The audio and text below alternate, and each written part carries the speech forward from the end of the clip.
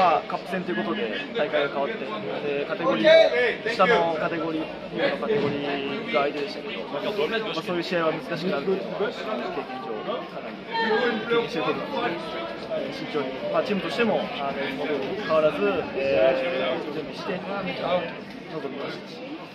はい、結果2-0ということでしっかり勝って次に進めたのでよかったなと。そうですね、カップ戦で少しこうチームの目が変わった中でも、あのきちんとこう自分たちのやるべきことというか、しっかり自分たちがオーガナイズして、えー水を漏らさないというところは、えーやりたいと思います。し、あのどんな試合でもやっぱゼロで終わらせるようなをして、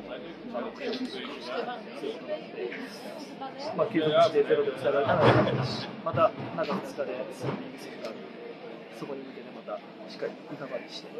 いい状態に進みたいなと思います。そうですね、やっぱり噛み合ってないところはたくさんやっぱあったし、でも、まあ、それも含めて想定内というか、えーチ.ームみんなで、えーうまくいかなくても、常に、えー最後まで er. バラバラにならないっていうところは、きちんと日も最後まで、えー一つになっていただと思います。はい、あのー、中2日で、えーコンディション的にも.しっかりまず休んで、えまずはいいコンディションで試合に臨むっていうところと、あとはまた、えーリーグ戦は少しでもやっぱ上のランクに行きたい、上の方に行きたいというところがあるので、えー、勝ち点3を積み上げられるようにして、えーチームとして、えータフな戦いをしたいと思います。